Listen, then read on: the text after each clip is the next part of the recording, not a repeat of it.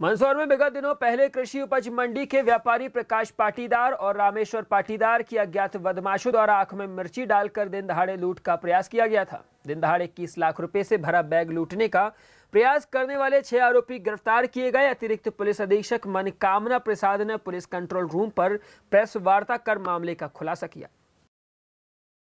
Press वार्ता में खुलासा किया गया कि लूट की वारदात को अंजाम देने में मंडी के ही हैमल, अन्नू मेवाती और नईम अजमेरी का मेन रोल रहा है। इन दोनों द्वारा मंडी व्यापारियों के आने जाने के समय का ध्यान रखा जाता था। मंडी व्यापारी सात फरवरी को मंदसौर शहर में स्थित एचडीएफसी बैंक की शाखा में से 21 लाख रुपए लेकर मंडी की ओर देने के भुगतान के लिए लेकर जा रहा था। लेकिन इन सभी लोगों ने कावरा पेट्रोल पंप के सामने इस घटना को अंजाम दिया।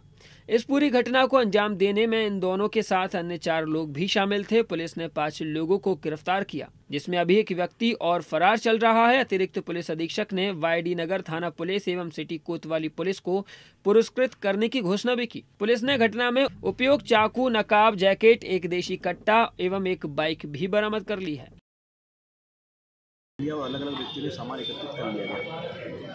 साथ में इनको ये भी पता था कि जिला मंदसौर में पुलिस के द्वारा कहाँ कहाँ कैमरे स्थापित किए गए, उनसे उनकी पहचान स्थापित हो सकती थी, उन कैमरों से बचाव हासिल करते हुए चार साथी पहले थे उनके आरोपी साथी फॉरेस्ट नर्सरी के पास में खड़े हुए और दो व्यक्ति मोटरसाइकिल पे इमरान और थे। इन लोगों ने जब जैसे ही ना फरियादी की मोटरसाइकिल पास में आए तो इन लोगों ने फरियादी मोटरसाइकिल को लात मार के गिराने का प्रयत्न किया और सफलता अर्जित कर ली। जैसे गिरे आँखों में मिर्च डाल के पैसे का बैग लूटने की कोशिश की गई परंतु व्यापारी द्वारा पैसे का बैग नहीं छोड़ा गया इसी को घटना पर लोग देखते वहाँ से ऑटो चालक गुजर रहा था उसको ये लगा कि कहीं ना कहीं इनको विवाद हो रहा तो ऑटो चालक ने इन लोगों को अलग कर दिया।